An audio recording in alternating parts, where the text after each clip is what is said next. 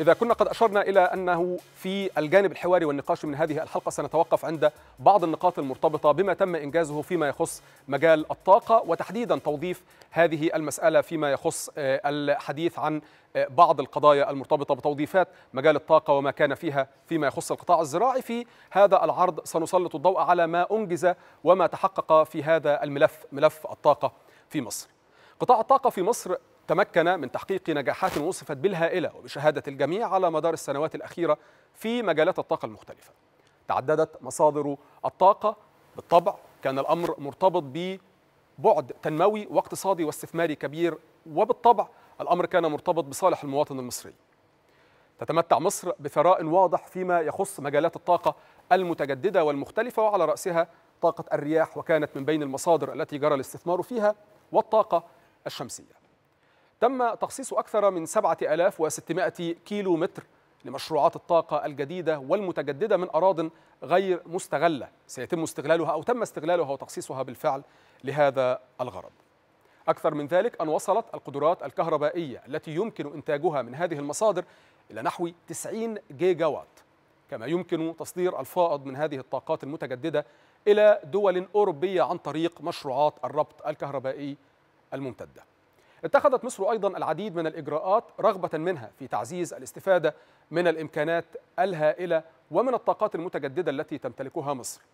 كما أن هناك خطة طموحة لعلكم استمعتم وتابعتموها في أوقات سابقة وهي الرغبة في زيادة نسبة مشاركة الطاقات المتجددة إلى 20% ضمن مزيج الطاقة بحلول عام 2022.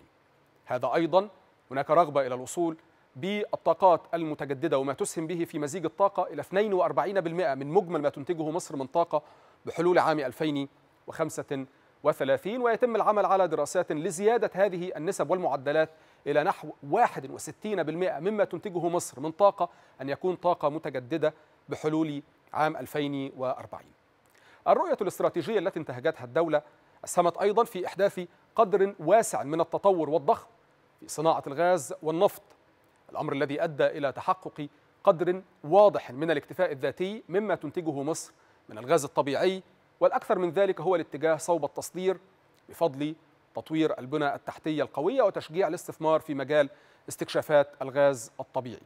وبالتالي حققت زيادة واضحة في استهلاك الغاز الطبيعي على حساب مصادر الطاقة البديلة التي تبدو أكثر كلفة وتلويثا على المستوى البيئي. نتحدث عن البنزين والسولار. الأمر كان مرتبط بثلاث سنوات. بلغت نسبة الزيادة في استهلاكها نحو 8% أما مجال الكهرباء فتمكنت مصر خلال العام المنقضي 2020 في تحقيق عدد ضخم من المنجزات إنتاجا ونقلا وتوزيعا. الأمر أسهم بدوره في ارتفاع ترتيب مصر بالحصول على المركز السابع والسبعين من المركز 145 في عام 2014 وانظروا الخطوات التي قطعت في أقل من ست سنوات. هذا كان مرتبط بتقرير ممارسة أنشطة العمل لعام 2020 وزارة الكهرباء بدورها نفذت في العام المنقضي 2020 عددا آخر من المشروعات في مجال إنتاج الكهرباء من بينها مجال قدرات التوليد الحرارية. بلغت قدرات التوليد الكهربائية المتاحة قرابة 59063 ميجا وات حتى السابع عشر من ديسمبر الماضي عام 2020 أما بالنسبة لشبكات النقل والتوزيع الخاصة بالطاقة الكهربائية فقد بلغت سعة محطات المحولات الكهربائية في الجهد الفائق والجهد العالي قرابة 164 ألف ميجا فولت أمبير. ويتم العمل على الانتهاء من 153 مشروعا خلال ست سنوات تقسم على النحو التالي. ثمان ثمانية مشروعات لتوليد الكهرباء من الطاقة الجديدة والمتجددة. 21 مشروعا للشركة القابضة لتوليد الكهرباء. يضاف هذا بالطبع إلى مشروع هيئة المحطات النووية. يضاف أيضا إلى كل ذلك 123 مشروعا للشركة المصرية لنقل الكهرباء. ومن أهم مشروعات الطاقة الشمسية بالطبع كما تعلمون دوما مجمع بنبان للطاقة الشمسية بأسوان والذي تبلغ قدرته الإنتاجية 1456 ميجا وات والحائز بالطبع أيضا كما تابعتم على جائزة التميز الحكومية العربية في دورتها الأولى لأفضل مشروع تطوير بنية تحتية.